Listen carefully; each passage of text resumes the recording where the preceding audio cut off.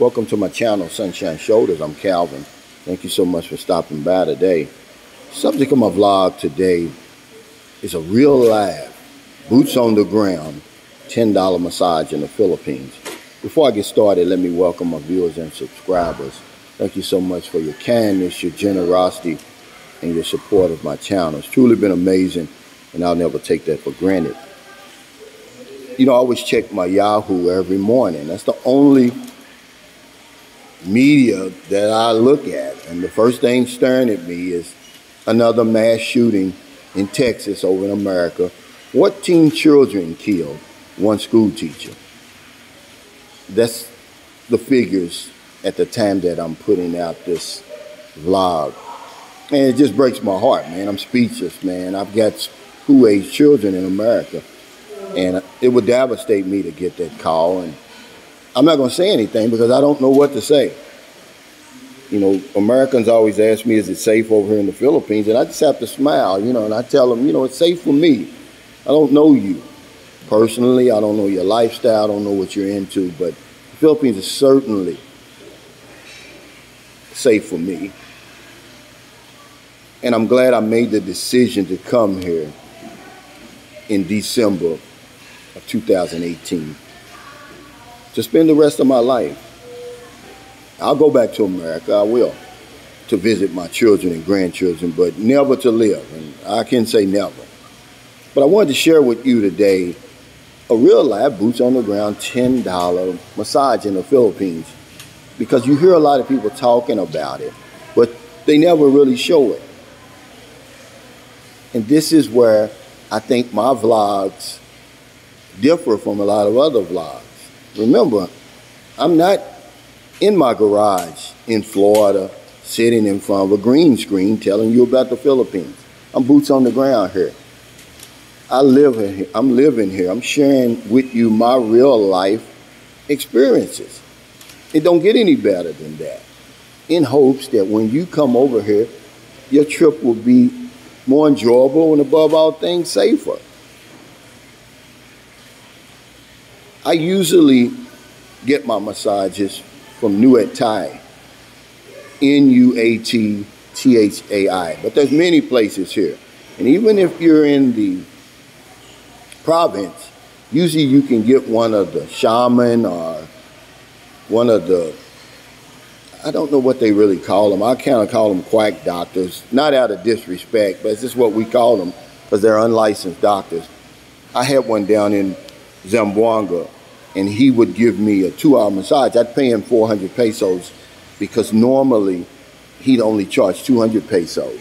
And he did an extremely good job because one of the comments was, was it a man or a woman that gave me a massage? It really doesn't matter.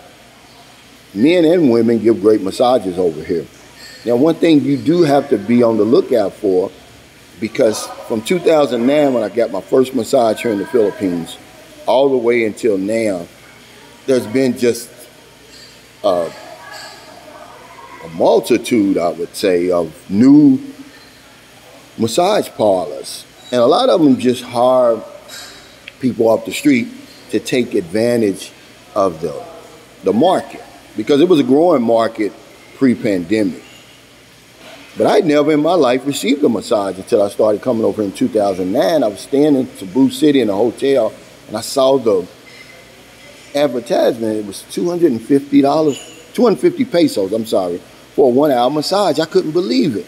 You know, at that time it was like $5 and I was like, well, let me see what this is all about. Oh man, I've been hooked ever since. Now there's three type of massages that you can have performed over here. I usually get the Swedish, but they have the native Filipino massage and the Thai massage. But both of those are kind of too rough for me. It's a lot of contortion going on, a lot of twisting and bending, and it's really uncomfortable because one place in Manila I received a, it's like a mixed massage. And I didn't know what it was, but it was. It was Swedish, native, and then the Thai, man. And I didn't enjoy it. I mean, they put you in positions that you it's uncomfortable. You're not used to, man, especially if you're not in real good shape. But I get the Swedish, and if she's a good masseuse or he's a good masseuse. The minute he puts his hands on you, he's going to ask you, is this too hard? Is it too soft? And you tell him, I usually get medium exertion. And it removes all the stress, man, all the strain, the mental stress, really. Because I don't work over here, man. I, I got a great life over here. The Philippines, in my opinion, is one of the great expat destinations in the world. And I'm trying to promote it as a vacation spot. And this is just one of the reasons. Where in the world, where else in the world can you get a $5 massage? Now, this massage cost me $10 because the specialist came to our hotel room. Not only was it $10, but I also gave her 150 peso, which is $3 tip, because she's really good. She's not one of these people taking advantage of the market. And what you can't see, and I would tell you, is Merlin sitting off to the side. See, Merlin used to give me a massage every single night. But once Booby was born, it's taking up all her time and all her energy. So she doesn't do it anymore. But every woman that I've had the pleasure of having a relationship with over here in the Philippines, after they go and see me have a massage a few times, they'll take over because they're kind of jealous and they don't want another woman rubbing on you and you're sitting there half naked. But they typically do that. Now, what she'll do, most of this video, she's doing just my back because this is an hour service. And of course, I didn't want to bore you with a whole hour. But after a certain amount of time, I guess 30 minutes or whatever, then they'll flip you over on your stomach and they'll do the front side. And man, when they do your head and all of that, I mean, it's just really relaxing, man. I, I, that's the only word I can uh, say to kind of describe it. It actually rejuvenates you, man. It it re-energizes you. You ready to to face, you know, the rest of the day. And I usually judge the masseuse on whether or not I go to sleep or not. If I go to sleep, they're good. If I don't, something's missing. But if you ever go into a place and the young lady's just rubbing oil on you because she's new, or the young man, just tell them to stop and ask for another professional because they'll do that. Because remember, it's been flooded with a lot of new massage parlors, a lot of new specialists that are taking advantage of this growing market. It's very, very popular over here. And if I was somebody in the West and you're saying, well, you're looking for an opportunity over here in the Philippines, because I didn't come here to work. But you know, I can't tell you not to work. I can't tell you not to look for an opportunity that you may be able to take advantage of. But if you're a real live masseuse and you're experienced, your services will probably be valued over here. I was getting a massage every single day when I first started. And someone told me, said, Calvin, you know, that's not good. You can get a blood clot, blah, blah, blah. I never got a blood clot. But he put that seed of doubt in my mind. And so I, I started doing it every other day. Living in San Carlos City, there's not a massage parlors there. Is there a masseuse there? Probably Probably is, because even if you don't live in one of the main cities, there's usually a shaman, or what I call them quack doctors, and I don't call them that out of disrespect. I just call them that because they're unlicensed medical practitioners. So I call them quack doctors. There's usually one or two or four in the province, and they do an exceptional job. I had one down in Zamboanga. He would give me a two-hour massage for 400 pesos. That's about $8 because he normally charges 200 and I'll just tip him the other 200. But if you come to the Philippines, you have to get this done. And this is a real live boots on the ground 10 hour massage. There's no hanky panky involved. This is a true professional, this lady is right here. And I would have never disrespect anybody like that by asking for a happy ending or anything like that. Because I'm pretty sure there's places here where you can have that done, but I don't indulge in that kind of thing. But you can see this lady's really, really good. I mean, I'm asleep already, and I'm probably only about 10 minutes into the massage. I mean, she really put me into a deep sleep. And maybe because of all that travel, that's why I say, man, if you come over here, you've had that long flight, you're tired, man, you're worn out, you're stressed. Usually the hotel or pension house that you're staying will have a massage service or a massage parlor that's connected to them some kind of way and they they can call them and tell them come to your room. Typically it's six dollars if you get it on the street. You go to Nuat Thai's uh, office or I don't know what you would call it the studio.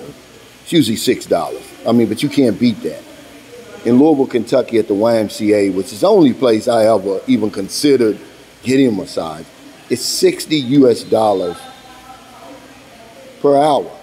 So that would be, right now, that would be 3,000 pesos. Here, you're getting one for about 300 pesos, so about 10 times less. And it's just as relaxing, it's just as uh, rejuvenating. And see, Filipinos, they have those small, soft hands. They can get into those muscles that a lot of the Westerners with those big hands, they can't, they can't get into. But yeah, I just wanted to share this experience with you. You know, I share my life with you guys. You know, a lot of times people say, oh, you share too much, but really I don't.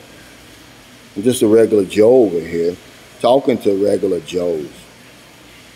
And a lot of times, some of the suggestions I give or some of the topics I come up with, they, they're controversial and people push back, but that's okay. See, our mother taught us to think for ourselves. And it's something that's helped me throughout my life. See, I got out of line a long time ago. Another thing I was taught that if you see, just because you see everybody else doing something doesn't mean that's the right thing to do. A lot of times, if you do the opposite of what you see in every, what you see everybody else doing, you're probably going to be well on your way to being successful. But I share my experiences with you. I'm actually over here in the Philippines because I want you to come over here. I promote the Philippines as an expat destination, a retirement destination, but also a vacation spot too, man. It's so many once in a lifetime destinations over here. So many different experiences. This is just one of them. But you can't, I can't show you this if I'm in my garage in Florida, if I'm sitting on my couch in Houston, Texas. I can only share this with you because I'm actually boots on the ground here in the Philippines. I think it just gives the vloggers in the Philippines more credibility. And I respect the vloggers, no matter how many subscribers, how many views you got. If you're actually talking about the Philippines and you're in the Philippines and you're sharing your Philippine experience, I got to respect you for that. But a lot of the guys who are somewhere else talking about the Philippines, man, get a life, guys, really. I think you're shortchanging your viewers and subscribers. You're not really giving them the real life Philippine experience, in my humble opinion. So thank you so much for stopping by today. Just another different video that I try to provide. For the last 20 minutes, 20 months, I've been sharing my whole entire life with you over in the Philippines. I hope that you come over here and experience some of the same things that I've experienced and more. So if you're in America, it's late. Before you let your head hit the pillow, I hope you find somebody to help. But if you don't want them late grocery runs, beer runs, weed runs, just getting off second shift, on your lunch break and you see somebody out in the street, them something to eat, buy them something to drink, give them a few dollars. If you're in the Philippines, it's early, it's about 6.30 a.m. We're here in Bacolod City at the Circle Inn. About to drink me a coffee, get my day started.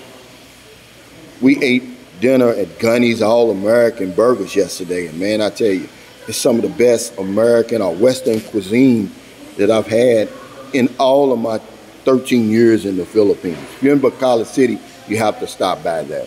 Today we'll have our electronic community pantry giveaway. Not a day goes by that I don't help somebody over here. Because if I don't know anything else, I know this one thing for sure. We help other people. We help ourselves. Take care. Stay safe. Stay COVID free. I'll see you next time. Pray for the victims, man, of that mass shooting over there. It's one of the reasons why I left America, man. I just felt, I just had this feeling of impending doom.